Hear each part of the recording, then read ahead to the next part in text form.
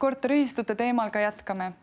meil on stuudios Linnavaraameti juhataja Einike Uri ja Eesti Korteriühistute Liidu juhatuse esimees Andres Jaadla. tere õhtust. tere. tere õhtust. Eh, Tallinna linn moodustas sellise ajutise korteriühistu komisjoni, mille eesmärk on siis eh, aidata lahendada korteriühistute ja nende liikmete vahelisi probleeme. Einike Uri, miks Tallinna linn sellise lepituskomisjoni moodustas?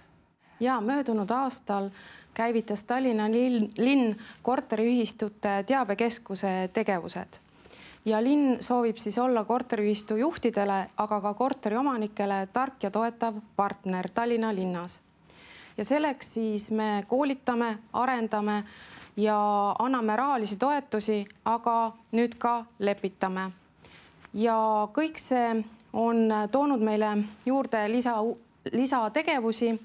ja nii me näiteks alustasime oktoobrist äh, nõustamist. meil on siis äh, linnavalitsuse infosaalis äh, jurist, kes siis esmaspäeval, teisipäeval ja neljapäeval nõustab korteriühistu juhatuse liikmeid, aga ka korteriomanikke. ja samuti alustasime me ka arenguseminaride sarja ja kogu selle tegevuse käigus siis selgus, et tegelikult on väga palju selliseid kaebusi, vaidlusi või muresid kus äh, neid osapooli tuleb lepitada, nendega tuleb ühendust võtta ja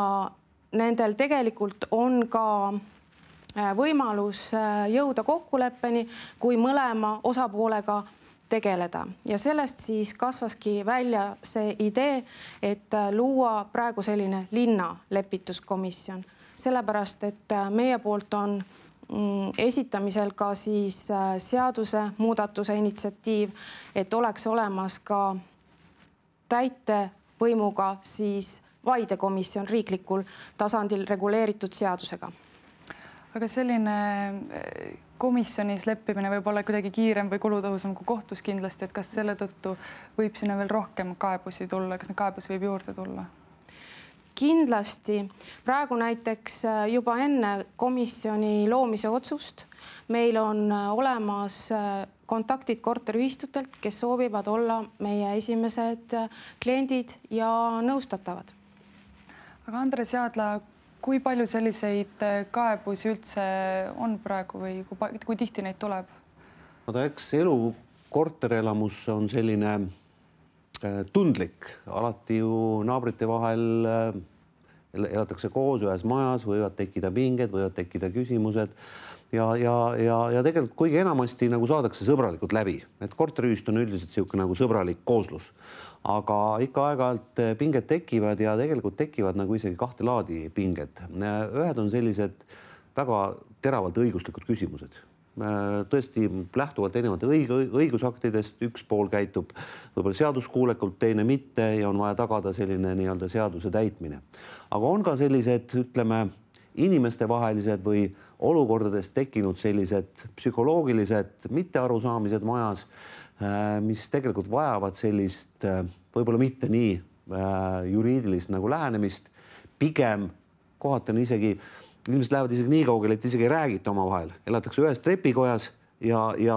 on teatud teema pinge üleval ja nad ei räägi. see on hea, kui äh, kolmas pool nagu sekkub, et äh, Eesti Korterite Liidul on ka olnud äh, selline lepitaja institutsioon, kus me lausa käisime üldkoosolekutel kohal, sest ühistud ei suutnud läbi viia üldkoosolekut, sest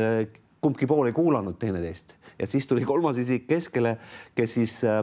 proovis nagu ühendada need jõud ja tihti said nagu probleemid ära, et seetõttu me äh, Tallinna linna sellist initsiatiivi äh, nagu toetame, et ka linna tasandil sellise äh, omavalitsuse seaduse alusel tegutseva komisjoni, selline linnakomisjon tekiks äh, ja just eelkõige sellise lepituskomisjonina, et ta prooviks võib-olla just nendes küsimustes, mis ei ole nagu äh, nii selgelt nagu äh, õigussuhetele tuginevad või, või mingitele omandisuhetele või noh, tihti on ka äh, korteriühistus, et jagatakse erinevaid omandeid mõtteliste osade suuruste, vähene eriomandi suuruste muutmised, väga nagu äh, täpsed õiguslikud küsimused, aga sellised inimestevahelisi suhteid, äh, omavahelisi võib-olla võib-olla sellist ähm, läbisaamist nagu äh, kergendavaid asju, seal on selline ütleme, niisugune linna autoriteet oluline tuleb nagu äh, väärikas komisjon äh,, kuulatakse üks pool ära, kuulatakse teine pool ära, antakse nii-öelda, nii-öelda nõu ja inimesed võib-olla esimest korda üldse selles komisjonis saavad kokku ja, ja saavad omavahel mõtteid vahetada, kus istub, istub nii-öelda äh, omavalitsuse poolne nii-öelda autoriteerne isik, isik nagu kõrval, nii et selles mõttes on asjal jumet ja me kindlasti korterite liiduna ka toetame seda initsiatiivi, mida, mida linn plaanib ette võtta ja tegelikult siin ka läbi aastate on nagu soovitud Riigikogu suunal teha, et see nii-öelda sellised vaidekomisjonid sarnaselt nagu töövaidluskomisjonina oleksid ka äh, Riigikogu tasandil seaduses sätestatud ja omaksid, nende lahendused omaksid ka õiguslikku kaalu. kuidas Korteriühistu Liit suhtub sellisesse komisjoni, et kas ta aitab siis pigem ainult äh, elanikke või on ka korteriühistutel sellest kasu? no nii nagu ma need dokumendid läbi lugesin, siis on ta mõlemapoolne komisjon, et on nii äh, korteriühistu suhteid omanikega kui ka omanike omavahelisi suhteid, nii et nii et ma arvan, et seal peaks nagu jälgima, tasakaalustatult, nii et alati on ju majas keegi rahulolematu, kes arvab, et ühistu juhatus teeb midagi väga paha ja käib ja kaebab, aga samas on ka teinekord ühistu äh, kuritarvitab oma positsioone, võib-olla ei suhtle piisavalt korteriomanikega, nii et siin on eri majades erinevad äh, nii-öelda lahendused, nii et ma arvan, et, et siit võib-olla sellist äh, tööpõldu jagub mõlemale poole, võib öelda aga Einike, küsimus teile, et milliste meetmetega see komisjon teeb kindlaks, kellel on õigus, kellel mitte? no reeglina pöördub üks pool ja siis äh, me võtame ühendust ka teise poolega. meil on selline lepitusjuhus ka olemas, äh, see puudutas küttearveid, kus siis meie juristi poole pöördus siis korteriomanik, me võtsime ühe ühendust ka juhatusega ning äh, lõpptulemusena need pooled leppisidki kokku ja siis muudeti ka selle korteriühistu põhikirja. aga meil on võimalik ka siis korraldada paikvaatlusi ja siis kas rääkida osapooltega eraldi või rääkida koos ja samamoodi ka siis me saame paluda lisadokumente, et äh, otsustada. ja ma arvan, et kui ka pooled ei jõua kokkuleppele, siis me kindlasti oma soovitused mõlemale poolele anname, jah. kas tooge üks näide, millised vaidlused on, üks huvitav näide, millised vaidlused on korteriühistute ja nende liikmete vahel no neid huvitavaid, iga näide on huvitav, sest kõik inimesed on väga erilised ja ka kõik korteriühistud on väga erilised. väga palju on seda, kui äh, korteriomandit näiteks ei kasutata sihtotstarbeliselt, vaid näiteks äh, on sinna loodud tantsustuudio, mis häirib äh, naabreid või näiteks on juhus, kus oli siis muusikariistade firma omanik, kes otsustas oma partii kõlareid proovida kodus äh, päevasel ajal, äh, häirides siis äh, vanemate majaelanike päevast rahu. Neid kaasused on seinast seina, sest et näiteks ka parklates meil on näiteks ühistuid, kus parkimiskoht on selle korteriomandi osa ja sinna ladustatakse rehve, aga teised korteriomanikud on rahulolematud. jällegi, et mis õigused siin üldse juhatusel on et neid erinevaid kaasusi on värvikaid ja igast valdkonnast aga Andres Jaadla, milliseid äh, kaasusi teie oma praktikast oi, siin välja? see nagu Einik ütles, see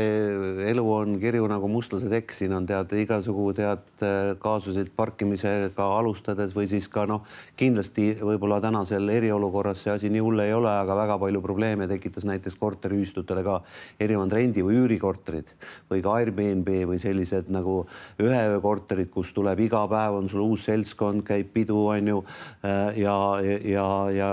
ja nii nii-öelda äh, omanikku on praktiliselt võimatu tabada, üüri, äh, üürnikud ei jälgi ühistu äh, korda, on ju et, et selliseid küsimusi erinevaid, mõni pöördub, et mul on majas külm, on ju, mul radikas on see, terve maja on samas reguleeritud, selliseid, no ütleme, inimese eluolulisi asju on, on niivõrd palju, kuna tegemist on ikkagi